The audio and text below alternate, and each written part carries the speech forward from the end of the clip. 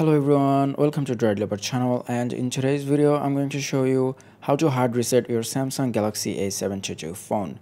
So what you need to do first is turn off the phone and to do that you need to press the volume down button and the power button together and hold and then tap on power off and then tap on power off again.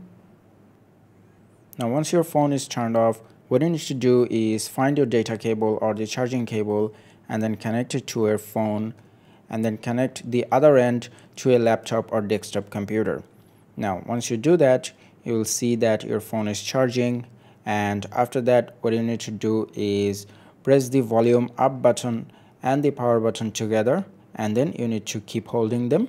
So press them and then keep holding, keep holding, keep holding, now let go and as you can see we are on the reset screen now. And from here you need to use the volume up and down button to select. So I'm just going to press the volume down button to select wipe data or factory reset. And then I'm going to press the power button to select it. And then use the volume down button to select factory data reset again.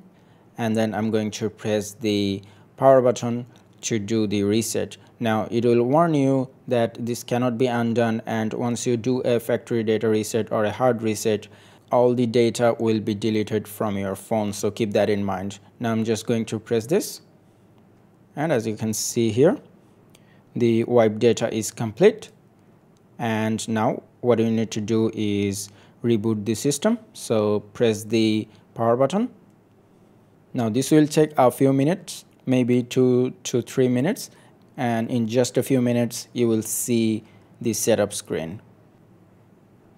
And as you can see here here's the setup screen and from here you can just select your language and then start this setup process. And that's it for today. I hope this video was helpful. If it was please give it a thumbs up and i'll see you guys in the next one